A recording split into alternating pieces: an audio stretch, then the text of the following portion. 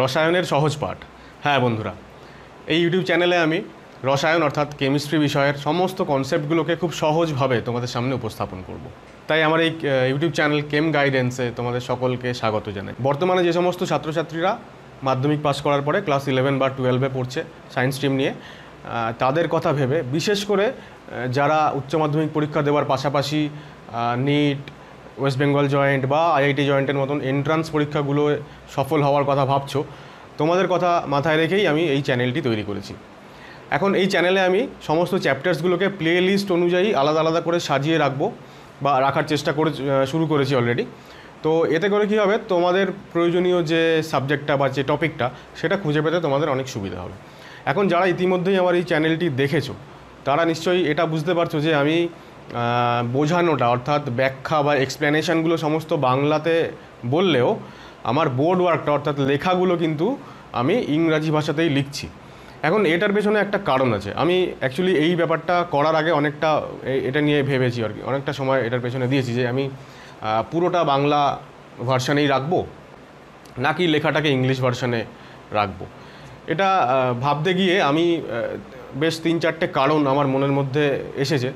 যেগুলোর ফলে আমার মনে হয়েছে যে অন্ততপক্ষে লেখাটা রাইটিংটা ইংরাজি ভার্সানে হওয়াটাই বাঞ্ছনীয়।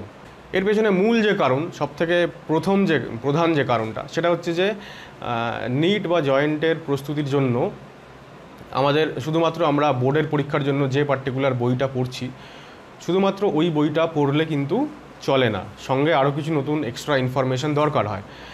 এখন যে সমস্ত বইগুলো মার্কেটে ভালো বই বলে প্রচারিত আর কি, সত্যি সত্যি যে বইগুলো পড়লে আমরা ওই এন্ট্রান্স পরীক্ষার দরজাগুলো খুলতে পারি, সেই বইগুলোর সবগুলোই ইংলিশ ভার্সনে লেখা।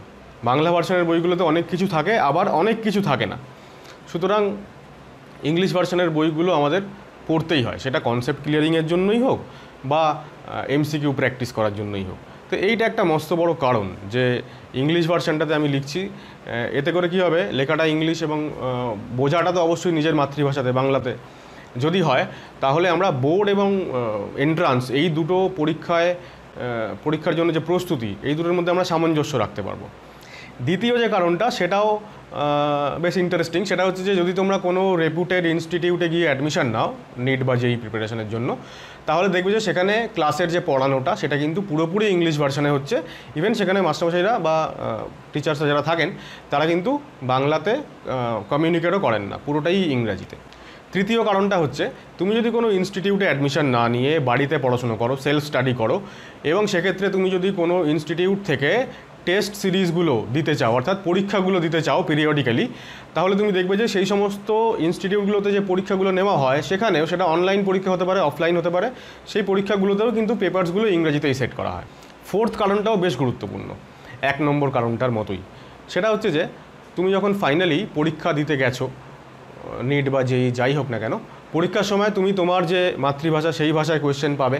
পাশাপাশি কোয়েশ্চেন পেপারের মধ্যে বাংলা প্লাস ইংরাজি, দুটো ভাষাতেই কোয়েশ্চেনটা তুমি পেতে পারো। এইবার, যদি বাংলা ভাষার কোয়েশ্চেনে কোনো গণ্ডগোল থাকে আই মিন ট্রান্সলেশনে যদি কোনো সমস্যা থাকে, সেক্ষেত্রে কিন্তু পরিষ্কার ওখানে বলে দেওয়া থাকে যে ইংলিশ ভার্সনের কোয়েশ্চেনটাকেই মেনে নিয়ে সেই মতন যে আনসারটা আসবে, সেটাই আমরা কারেক্ট ধরবো। আমি তোমাদের একটা কোয়েশ্চেন পেপার দেখাবো, যেখানে কিন্তু অনেকগুলো বাংলা টার্মে সমস্যা আছে। যেমন রিয়াকশানকে বাংলাতে ওরা লিখছে অভিক্রিয়া। যদিও আমরা রিয়াকশানকে বাংলাতে বিক্রিয়া বলেই জানি। একই রকমভাবে আইসোমেরিজমের বাংলা ওরা লিখছে সমানুতা, না, সমানুতা বা এরকম কিছু একটা। কিন্তু আইসোমেরিজমকে আমরা বাংলায় জানি সমাবয়বতা। এখন এই রকম অনেক ছোট ছোট টার্মিনোলজিক্যাল গণ্ডগোল কিন্তু বাংলাতে বা অন্য রিজিওনাল ল্যাঙ্গুয়েজেও হয়। এর একটা মস্ত বড় এক্সাম্পল আছে দু হাজার আঠেরো সালের নিট পরীক্ষাতে সম্ভবত। এরকম তামিলনাড়ু থেকে একটা অভিযোগ করা হয়েছিল যে সম্ভবত ফর্টি নাইন ঊনপঞ্চাশটা কোয়েশ্চেনে এরকম ইংলিশ থেকে তামিল ট্রান্সলেশনে কিছু গণ্ডগোল ছিল।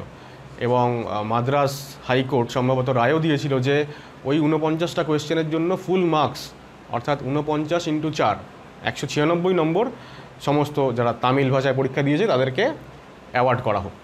ফাইনালি যদিও সম্ভবত সেটা হয়নি সেটা রিফিউজ করেছিল সিবিএসসি দু হাজার আঠারো সালে সিবিএসসি পরীক্ষা নিয়েছিল, উনিশ সাল থেকে এনটিএ পরীক্ষা অর্গানাইজ করে। যাই হোক, এখন আমরা কোনো রকম চান্স নিতে পারি না।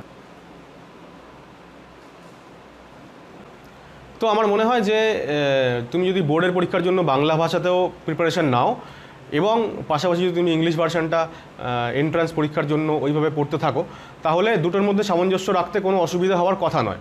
কারণ দেখো এন্ট্রান্স পরীক্ষায় তো তোমাকে ইংরাজিতে কোনো সেন্টেন্স লিখতে হবে না, তোমাকে চারটে অপশান দেওয়া থাকবে কারেক্ট অপশান চুজ করতে হবে।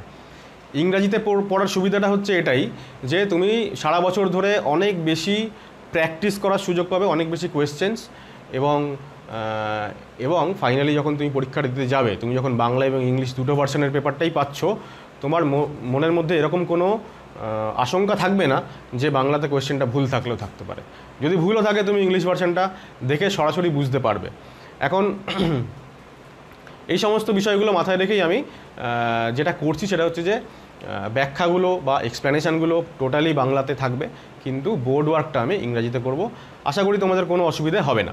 তো আর সময় নষ্ট না করে ইঞ্জিনিয়ারিং বা মেডিকেল এই যে স্বপ্ন পূরণের লড়াই, এই লড়াইতে এখনই তোমরা নেমে পড়ো এবং এই থ্রু আউট দ্য জার্নি তোমরা আমাকে কিন্তু তোমাদের সাথেই পাবে। সুতরাং wish you all the very best for NEET JEE and this entrance exams okay